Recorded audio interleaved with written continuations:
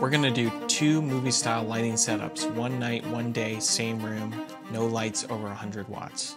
Now this video is not sponsored, but I was sent two M20 lights from Zhiyun as well as the new X60 RGB light. And I thought it'd be a great opportunity to walk you through two narrative lighting setups, just very sort of raw, you being able to hear my thought processes as I tweak, as I adjust, and as I make choices and to see why I'm making choices. But I wanted to limit myself to using only the lights that Zhiyun sent me. We're gonna try them out. We're gonna see what their best use cases are, and we are going to push them to their limits.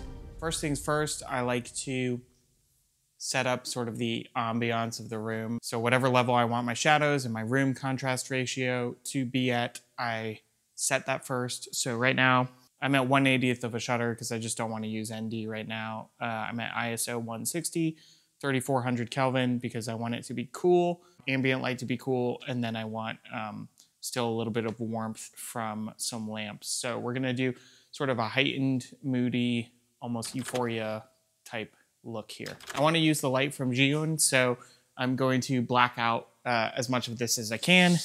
I've got these like suction cup blackout curtain things for babies. Let's use clamps. Okay, that is good enough for me. Now I'm gonna add the Zhiyun light just to get sort of a room ambiance. I've got this little silicon diffusion bulb thing on it uh, just get a little bit softer, less harsh light bouncing off the ceiling here. So I've got it set to sort of a blue temperature here. We're probably gonna have to adjust a little bit. There we go. Okay, so you can see here, we've got a little more ambiance in the room. It's not like realistic per se, and it doesn't really look like what real moonlight looks like, but it's gonna be sort of a cool stylized effect. On to the next. Let's set up our key light. I have the Zhiyun Molus X100 over here, keeping that Zhiyun family today. So let's first turn on our practical lights just so we can get a little bit of motivation for the warm light that I'm setting up over here. So I've got this like alarm clock lamp here and uh, I'm just gonna use that. I'm gonna turn it so it's sort of bouncing off the wall a little bit here, not too much. Let me turn this guy off. The reason I'm not doing that real lamp is it's just very finicky. It's one of these touch lamps and it just is terrible. The nice thing here is this touch lamp doesn't work at all. And so I'm gonna be using one of the M20s from Zhiyun and I've got it dialed in to about the same sort of orangeness as that uh, alarm clock lamp. And the nice thing is this has magnets on the back of it, so I can literally just plop it in there like it's a lamp, which is pretty insane design. I totally forgot that. And then I was setting it up and I was like, oh, wait, I can just use this. So here's where we're at now. Again, you notice I haven't set up my key light even yet. Um, I'm just trying to get levels of the room where I want them and to a state that's looking good for me. Because it's easy to add light. Like if we want to bring up the levels of the room, it's very easy to do that. It's not so easy to subtract light. You know, that's why sound stages are pitch black because you can bring in light very easily.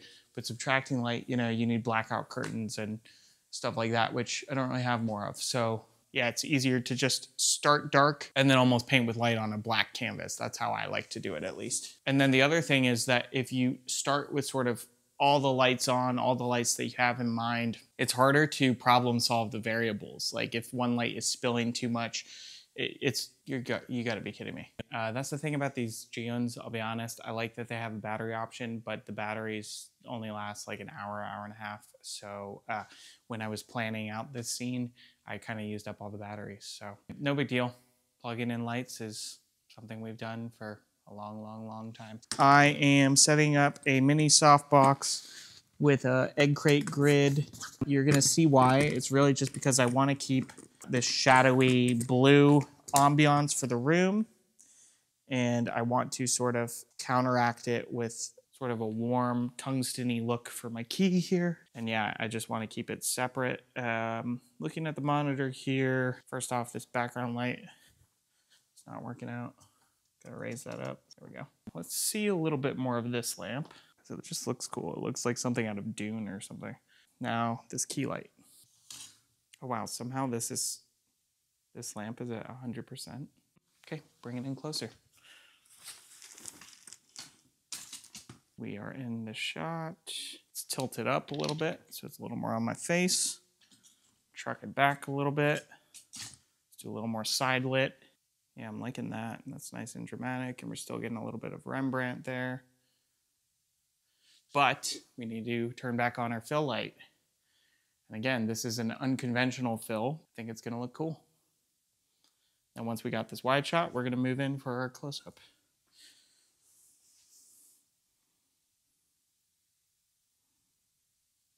Let's bring this in around to the side a little more. Let's pull it down a little bit and then tilt it up a little bit so it looks less like a, you know, softbox key light and more like a, you know, some sort of source in the room. That's looking pretty cool. I want to get a little more background light here. So let's go back to that reflection. That's cool. Okay, I'm good with all this. I think uh, I think this blue light is a little bit much. And just so you can see what this light is, it's got this little silicon diffusion on it. Again, I just don't want it too harsh as it bounces off the ceiling. Um, let me take a look.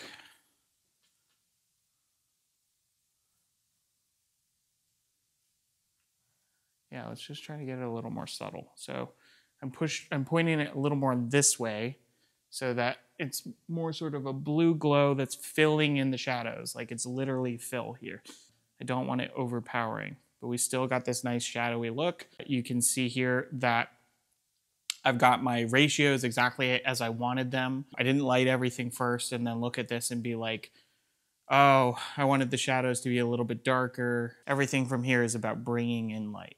Okay, so now we've got the shot. I'm just gonna look at you and be dreamy.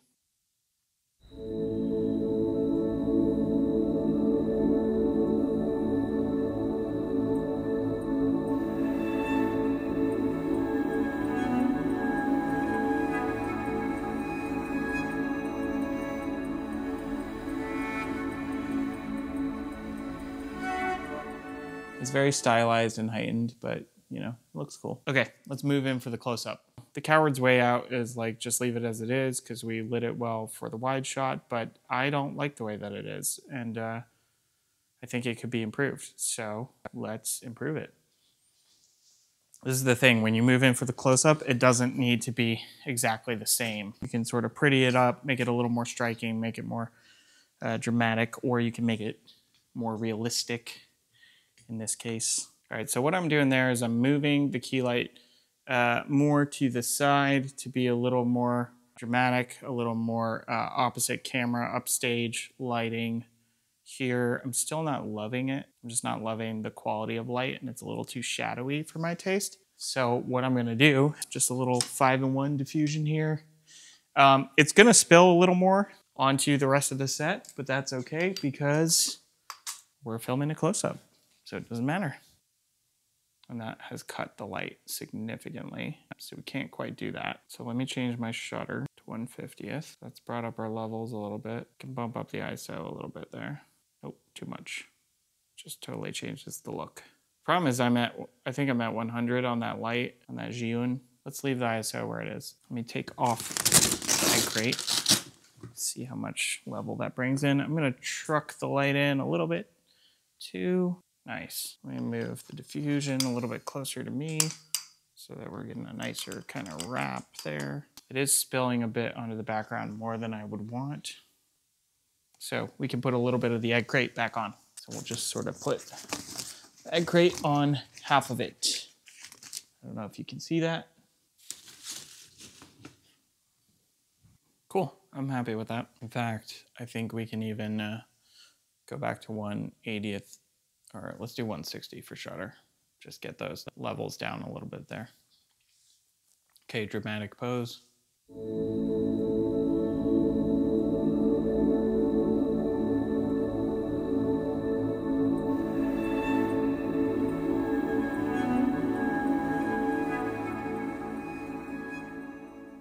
Okay, we're gonna do an interior day sunny. So again, I like to set the levels of the room. Uh, you know, what do I want my window to be at? What do I want my sort of shadows to be at? So I put some ND on the 50 millimeter, it's f1.8. Um, and let's go ahead and stop it down until I get the sort of exterior level where I want it. Yeah, right about there, just below clipping. Lots of nice kind of interesting shadows in the room. And again, we can always bring it up. Now, this is a different situation from the last one in that in the last scene, you know, we started on a black canvas. The problem here is that our black canvas is competing with a big window. So we need bright light. I have challenged myself to only use these two Zhiyun lights. One of them is a 100 watt, one of them is a 60 watt. So that's not a ton of light, but let's see what we can do here and I am at white balance 5500 Kelvin. Let's go ahead and strike this light. This is the X60. All right. And so what I'm doing here is, again, the light is not coming from outside this direction. It's actually going the other direction. But the reason why I'm showing a window in this scene is to imply, hey, there's natural light coming into this room. So you don't know that the sun's not coming through. I mean, really, it's pretty much overcast right now. You know, there's no master shot. This is just a cinematic daytime shot of just me. I'm the only subject in this scene. So we can cheat a little bit here. So what I'm doing here is I have uh, my X60. I've set it to daylight temp. I've matched it to the window colors. I used a little color picker and made sure it was a perfect RGB match. It's at 100%. What I'm doing here is there's a principle with natural daylight called hard on the body, soft on the face. And so what you can do here, and you see it all the time in movies, all the time. Once you notice it, it's it's like impossible to unsee it. What you can do is have hard light on the body, and you can just start to have the hard light sort of kiss the bottom of the face. Um, and then from there, you can do some beauty light, and the viewer won't notice the beauty light on the face because the hard light is is sort of selling us psychologically on there's some natural light coming into the scene. Start with hard light. Uh, this is as bright as it gets, unfortunately. I would probably do it a little bit brighter, but this is as bright as it gets. Okay, and then what I've done next is I have an X100. Let's power that on. And I have powered the X100 on to 100%. It is filling in the room a little bit. That's okay. Um, we can actually even stop down on those windows just a little bit more. I'm sorry, I don't have exact stop numbers for you there.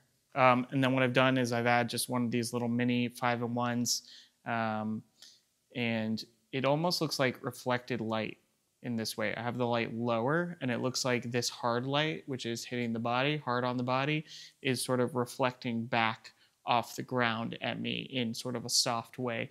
So I'm actually gonna bring this in a little bit, soften it up a bit more see if I can wrap it a little more. Um, and I'm actually going to raise it up a little bit. It's a little too shadowy for my taste. Just adjust that.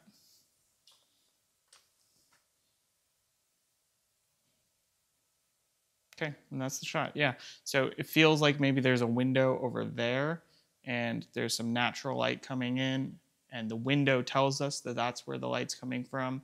And then I, am getting hard on the body here and then some nice soft reflected light. And you can actually do reflected light. I do that often. You can have actual reflected light, but in this case, I'm running it through diffusion because I wanted this nice quality of light. So I do a similar setup to this quite often and uh, hope this helps.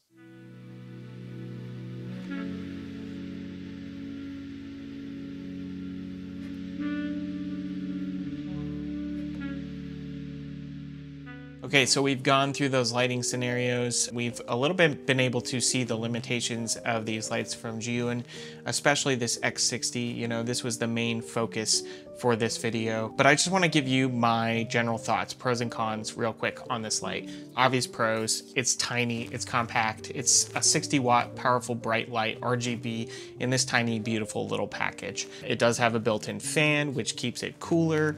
It's just another innovative, surprising, fun little light from Zhiyun. It's fantastic for background lighting. It's fantastic for fill lighting. It's for fantastic as a kicker light.